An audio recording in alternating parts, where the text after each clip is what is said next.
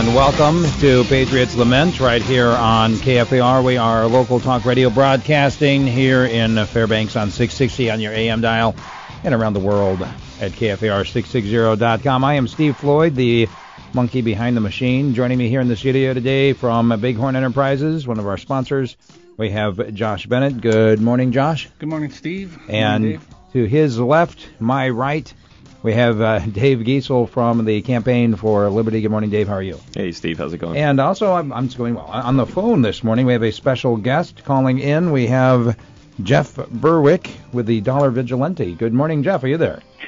Good morning. That's quite the intro. You got me all pumped up here. Well, I want to go out and throw, overthrow a government. well, we, we, we don't advocate for anything violent here, Jeff. No, Well- no, I didn't mean it violently. Through educational means. Education. yeah. In a sense, we have to overthrow the shackles in our own mind before we can do anything else effectively on the outside.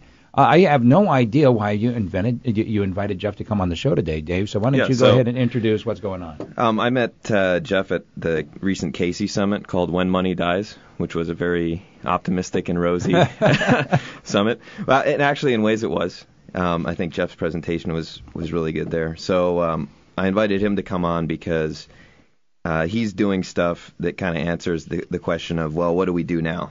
You know, what do we do about this?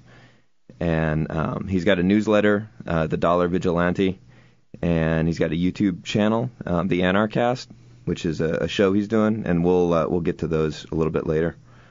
Um, but the main thing I wanted to talk about first was, um, Jeff, what is your take uh, as somebody who's been observing this stuff on kind of the political and econ- economic situation that we have in um, the United States, North America, and is it beyond reform, and and what's going to happen? What's your take on that?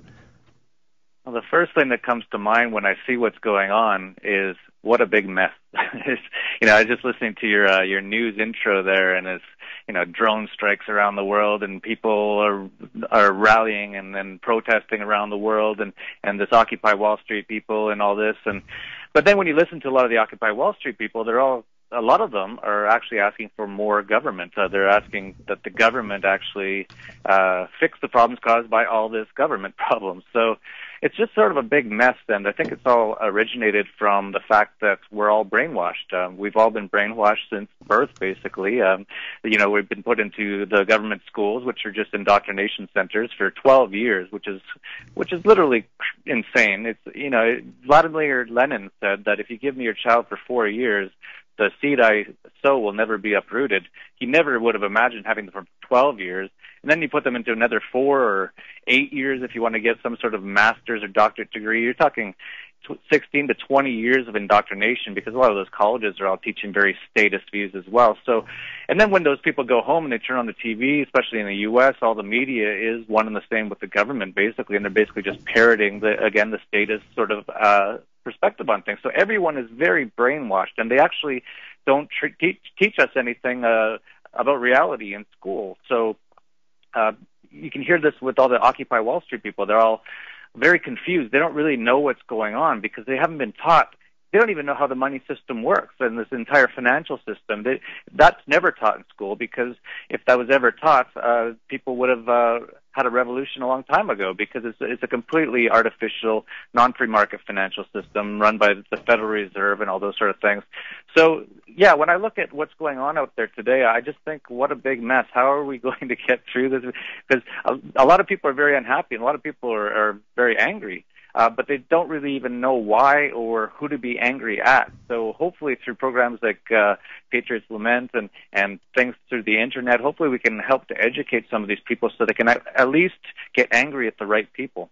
Yeah, that's a really interesting point. We had a uh, local assemblyman on last week, um, and we we kind of pitched these ideas at him. That, We, that, we also ganged up on him, uh, Dave. well, to be yeah, honest. but but like the idea that public schools were indoctrination centers and and just things like that, and he'd he'd never been exposed to those ideas before. Um, his reaction was, you know, he he just didn't know how to respond to a lot of that. So so people really haven't um, heard a lot of this stuff before, even though, you know. Guys like us, you know, we've been talking about the Federal Reserve and things like that for years. There's a lot of people out there who just have don't have a clue about it yet. Yeah, that's totally the case, and uh, you can see it every day. Most people just don't know any of this stuff. But thanks to the internet, you know, the internet's been around since 1994. Really, that was when it really sort of took off or started to get going. And, and most people knew about it by around 98 or 99. So we've had about 10 years now where people have had at least the opportunity to get access to this information because before the internet you really couldn't. Uh, the government's made sure there was no Ludwig von Mises or Murray Rothbard's books in any of the libraries. Uh, you know, you would never get on, a person like myself would never get on mainstream media in the U.S. I'm far too dangerous. I speak about the truth and reality and, and that sort of a thing. So before the internet we had no chance uh, to figure this stuff out. And the people who did figure it out, I really respect because I don't know how they did it uh, before the internet. But now that we have it, uh, there really is no excuse anymore. Uh, before you could say, oh well, you know, they were brainwashed and and they had no access to this information, so how could the majority of people figure it out? But now you have no excuse for being ignorant. Uh, you you have to at least admit if you don't know this stuff now that uh, you've you've uh, got issues or you're trying to avoid it or you're or you're just not uh, very good at thinking. Uh, but uh, uh, in general, though, uh, I think we do have a chance here to educate people a lot, and and uh, but I also think that the governments uh, see that, and that's why you hear about things like the internet kill switch a lot nowadays. Mm-hmm. Uh, you know, it really wouldn't surprise me to see. Well, they're already doing it. They're already censoring so many things. Uh, you know, we're, we're sort of under attack here on the internet. This is the last free uh, place on earth, and uh, we really need to protect that because if we lose this, I think uh, all hope is lost.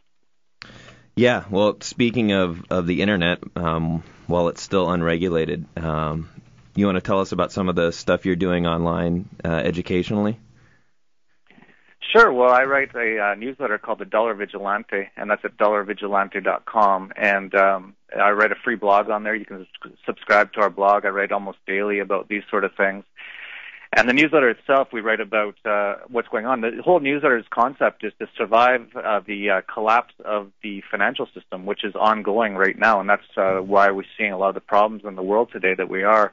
Uh, all these riots and protests and all that. That's all just symptoms of the collapse of this fiat currency system, which has really only been in place for just over 40 years now. And uh, so I write a lot about that sort of thing. I also write about things like expatriation. Uh, I'm not uh, super positive about what's going to be happening happening in the U.S. over the next couple of years. And I think if you have the opportunity to leave and you have the mindset to do so, I think that's not a bad idea. I think that's a, uh, a decent idea. I, I pers- personally have done that. I, I I'm, I'm actually Canadian. I'm I'm I'm uh, from a place called Edmonton, which gets very cold, and my dad's actually from the Yukon, so I uh, I quite know the Alaska style lifestyle. My my dad's a funny story. My dad's actually from a place in Canada that was the coldest uh, uh, recorded temperature ever in Canada. It was something like minus seventy something. And, yeah, I guess uh, you can't complain then. Yeah, well, actually, you've gotten close to there. But anyway, um, he was telling me that uh, they they hit that about minus 70, and the next day was only about minus 30, and everyone was walking around in t-shirts with their uh, car windows rolled down. So just goes to show the uh, how people can adapt to anything. But um, yeah, so I, I read about these sort of things, and then I also have a program called Anarchast, and and that's basically anarchy podcast. Uh, I'm an anarchist. Uh, you can call, it, or you can say anarchy, uh, anarcho-capitalist. Uh, is um, is another word for it. Uh, it basically just means that you you don't believe we need government and um, and you believe in freedom. And so I write that. So that's just at anarchast.com. And uh, every uh, few days we have a new video up where we interview uh, free free-minded people. And we had you, David Giessel, on uh, just last week uh, on on anarchast.com. If people want to go go there and see that. Yeah, one of the things I really like about um, Anarchast is that it it distills down what you know the voluntary um, anarcho-capitalist movement is all about. You know, it used to be that when you told somebody, you know, oh, I'm an anarcho-capitalist, they would just react, and there was no way to explain it to them. I was like, well, go read these 10 books by Murray Rothbard, and then you'll know what I'm talking about. And now um, you've really created a, uh, a resource there where people who are curious about this can just go and watch these YouTube videos where you have guys like Doug Casey and Lew Rockwell and Stefan Molyneux uh, talking about what, what this really means, you know, organizing society around peaceful interaction instead of organizing it around the gun. Um, and so I think that's a, a really valuable resource. Yeah, thank you. That's basically the reason I did it. And this reason I did the Dollar Vigilante as well. I'm trying to help to educate the younger generations because if you go to a lot of these sort of uh, freedom-minded conferences and all that sort of stuff, you see that most of the people are quite older. Uh, they're in their 50s or 60s or 70s or 80s, and um, and that's great. But uh, you don't see a lot of younger people. You see some now, thanks to the internet, uh, but you don't see a lot. And you, and you can see it right with these Occupy Wall Street. I've been watching so many of these sort of man on the street interviews, and just hearing what they say, it's just painful, but it's also funny to, to listen to. They're just they have no clue about anything. They've just and you know that that's their 16 years of public education for them, right? Uh, they really just, just have no idea what's going on, and so uh, I, I started doing these uh, anarchy podcasts as a way just to to educate people, just to get the word out there about what it is. Because if you talk to a lot of people and you bring up the word anarchy, they've been trained by the government and the media to think that's a really bad, dangerous thing. Of course, because the government doesn't want uh, anyone to, to to know what we know that that, that we don't need the government, and uh, or at least we don't need a government anywhere near as big as what it is today. That's for sure. Mm-hmm. Uh, and uh, I actually personally believe we don't need them at all. But uh, there's other people called minarchists who believe we just need a very a tiny government, which is fine. I could live with that, uh, but I think it'd be even better without any government at all. Uh, and uh, so yeah, I just try to get the word out there because uh, it is there is a war going on for your mind right now, and the and the governments have all the resources because they take all of our money. So they they can do so many things that we can't. But thanks to the internet, uh, we can uh, get stuff like this out there a lot easier. And uh, you know, I'm really starting to see uh, this uh, taking off quite a bit. I'm seeing just an incredible growth uh, because as soon as people find out about this stuff and read a few, a few books about it, uh, it really uh, gets them excited because it shows them that because you, you get the sense from a lot of people nowadays that things are sort of hopeless. And they are hopeless under the current financial structure and this a horrible political structure that we have with just government involved in every facet of your life. It's it's the most we've never been less free as humanity in history than we are right now. We're basically living in uh, 1984 type times right now, the book 1984. And I was thinking about that when I, I was listening to your your news uh, intro. You know, all this stuff. It sounds like almost futuristic, like like what we would have thought of like the book 1984 uh, like a few decades ago i was listening to uh, drone bombings in yemen today and it, uh, just all the things that that sounded really surreal in the past we're living in it now and uh so it's really important that we, that we uh try to get the word out there because uh you know this is all these sort of statist things, they never work out, and it just turns into basically slavery. And uh, even that's collapsing right now. So the U.S. government is in a state of collapse right now. A lot of people don't see that, but that's the case. It's, it's beyond indebted. It, it has to collapse in one way or another. And so, uh, one way or another, it's going to collapse. And so, if we don't educate enough people uh, about the uh, opportunities or the options they have in terms of political structures and governments, then they'll probably just end up building another government again and doing all the same things and going down all the same roads and then we'll be enslaved again for another 30 or 40 or 50 years till it all collapses again. And and so just because I want to live in a decent world, I kind of do these things and, and just hope that some people listen and, and maybe we can at least uh, uh, get some uh, traction as far as uh, non-statist point of views. Uh, otherwise, I'm going to have to go live on a seastead or somehow get into outer space at some point to get off this planet. Yeah, that's what Doug says, right? We got to get off planet if we're going to.